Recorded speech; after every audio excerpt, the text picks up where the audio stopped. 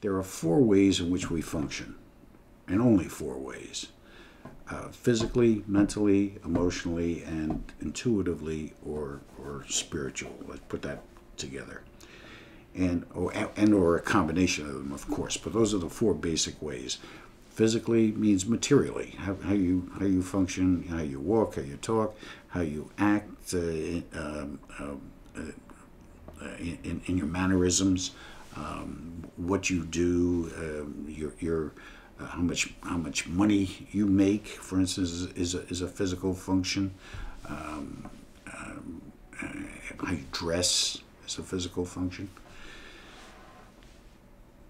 and uh, it goes to some people's uh, occupation. For instance, uh, you know, a surgeon, uh, an athlete, somebody who works with their hands, a carpenter, or, a, a mason, electrician um, or anything you might do.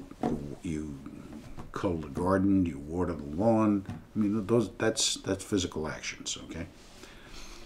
Uh, and of course, there's different levels of it. There are different athletic achievement. There's there's different ways of, of looking, you know, taking care of yourself, whatever.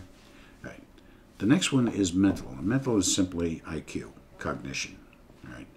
Um, and that's that's your ability to um, look at uh, information and uh, understand it and take it take it in and uh, um, categorize it.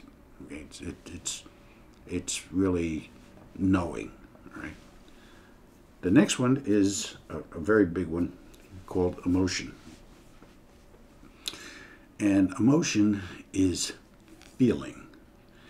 Now, emotions, we're going to talk a little later about, uh, about emotions, but uh, emotions uh, can work against you or it can work for you. Emotions can fire you up and uh, make you achieve something that you ordinarily couldn't achieve. Or they could water you down. They can, they can make you miserable. They can turn your uh, objective into a disaster. So, knowing how to handle um, feelings, uh, such as like what we talk about with political correctness, um, is, is critical. The worst thing I've discovered, 35 years of this research, is trying to hide your emotions in the sense that um, hide them from yourself. Uh, is, is the worst thing that you can do. So, um, if you are a sloppy dresser and nobody tells you uh, or says anything to you because it's politically correct not to address the fact that you're a sloppy dresser, um, you're going to be a sloppy dresser. But if somebody says to you, in whatever fashion, you're a sloppy dresser, whether they're saying it uh, as an insult or whether they're saying it as a corrective criticism, uh, the way in which you respond is critical because what happens with emotions, emotions have a lot to do going back to focusing and beliefs. When you introduce emotions into what you're focusing on or what you believe, it's going to make it stronger or weaker. So um, that's part uh, the, these are all part, when you start putting them together, which we're going to do soon, when you start putting them all together, you'll see that um, uh, emotions can make or break your your day. And let's get back to political correctness for a second because that's it's very important. Um, it, uh, whether or not somebody says something to hurt you um, should not be taken uh, subjectively or um, or personally. That's the mistake we make uh, on this planet. You should take those things as uh, objective and you should take them as impersonal because you learn by them.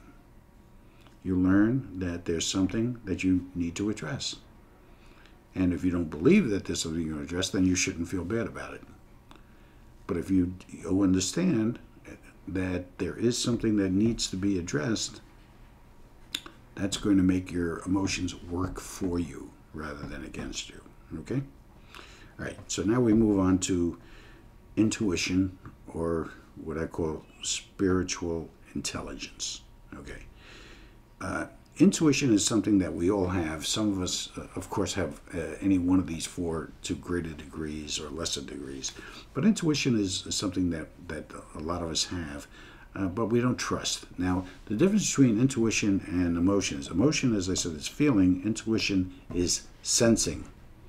And after a while, when you're involved in something such as like a business or a relationship, you sense things. Um, I, can, I can, in my earlier days in real estate, after I got my feet on the ground, I would drive around the neighborhood and I would, I would be able to intuit uh, that there's something going on on this street, and maybe even on that house. I wouldn't understand why I, I, I knew that, but it was my intuition. And when I followed it through many, many times, a lot of times, it, it was accurate. So that's part of, of intuition, and that's something that, that should be uh, addressed, and you should try and develop that. But just as equally important, and uh, maybe even more important, is what I call spiritual intelligence. Spiritual intelligence is being in touch with the universal energy. It means that which we all have. So it means that when you start to reach out for that, and, and by the way, one of the best ways of doing that is like, for instance, practicing yoga, especially like Hindu yoga. It, it, it, it truly enables you to connect with this power, this, this force um, that enables a higher level of performance. Now, if, if you think about this, when you look at um, for instance, football game, okay, and you say, well, um, these teams are pretty much equal, but you know what? The home team has the advantage, and the reason is because they've got the crowd behind them. Well, what they're saying is that there's a this energy, this electricity that the crowd is going to generate to assist uh, the team in performing at a higher level.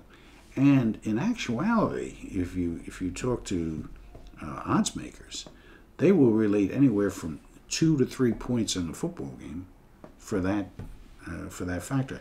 That that's a big advantage. That's the type of power that you can generate on a daily basis. I sure hope you do. On to the next chapter.